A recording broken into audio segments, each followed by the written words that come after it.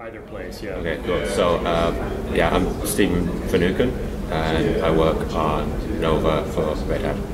So, I previously worked uh, at Intel, and during most of my time working on Nova, I've been focused on the same kind of feature set, which is uh, what Intel like to call EPA, Enhanced Platform Awareness, or um, like NFV applications. So, making Nova smarter from the perspective of telco applications. You have all this amazing hardware.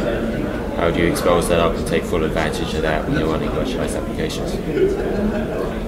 So the Ocata cycle was a bit of an odd one for me, and probably for the project itself, it's really short.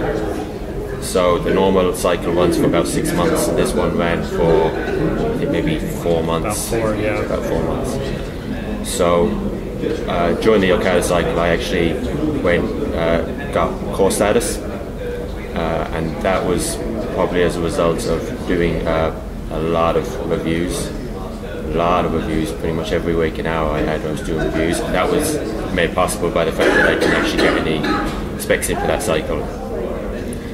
So my work on, on Nova during that cycle was mostly around um, reviewing Python 3 fixes. Was still very much a community goal to get us supporting Python 3, 3.5 in this case.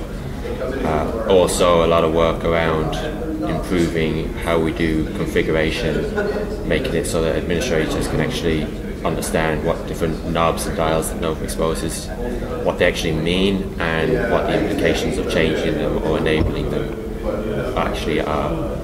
So that's something, they're both things that have been going on since before the Ocata cycle, and we made really good progress during the Ocata cycle to kind of continue to get ourselves like in some cases 70 80% of the way there. And in the case of the config options the work is essentially done at this point. Outside of that the community as a whole most of what went on this cycle was again continuations of work that's been going on in the last couple of cycles. So a lot of focus on the maturity of Nova improving not so much new features, but uh, improving how we actually did existing features.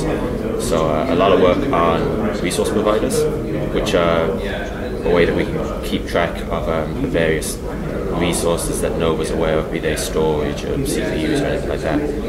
Um, and of course, like the cleanup task that I was talking about.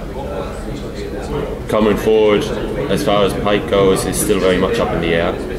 Uh, that's what we're here this week discussing. Uh, there would be, from my perspective, uh, a lot of the features I want to see is again doubling down on the NFV functionality that Nova supports. So making things like uh, SRIOV, uh, making that easier to use and more performant where possible. There's also going to be some work around resource providers again for this SRIOV, NFV uh, features and resources that we have. The other stuff that the community is looking at, um, yeah, again, pretty much up in the air.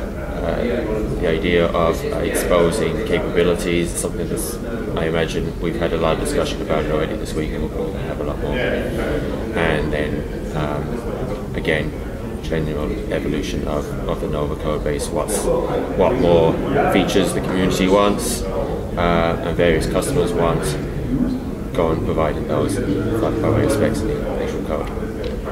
So yeah, it's promising to be a very, this cycle anyway is promising to be a very, very exciting cycle on account of the fact that we're back into the full six month mode. Um, there's a couple of new cores on board and um, Nova itself is full steam ahead. Okay.